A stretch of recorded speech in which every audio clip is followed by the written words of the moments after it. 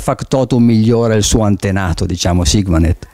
Soprattutto nel fatto che eh, ha tutta una serie di attività potenzialmente attivabili che consentono di migliorare lo scambio di informazioni tra eh, le scuole e i tecnici della città metropolitana che gestiscono gli interventi. Eh, in particolare eh, in questa fase viene attivato il modulo eh, per le segnalazioni di richieste eh, di interventi di manutenzione ordinaria che era esattamente quello che faceva il precedente applicativo che era Sigmanet ma in prospettiva eh, verranno attivate tutta un'altra serie di attività che Factotum consente di, di avere, soprattutto legate al, eh, al, caricamento di informazioni tecniche relative agli edifici scolastici, le planimetrie interattive dei, dei vari piani, eh, i documenti certificativi tipo i collaudi, le dichiarazioni degli impianti e così via, consentendo poi agli operatori della scuola che sono abilitati di attingere da questa piattaforma web per eh, scaricare all'occorrenza le informazioni che, le informazioni che servono sull'edificio scolastico.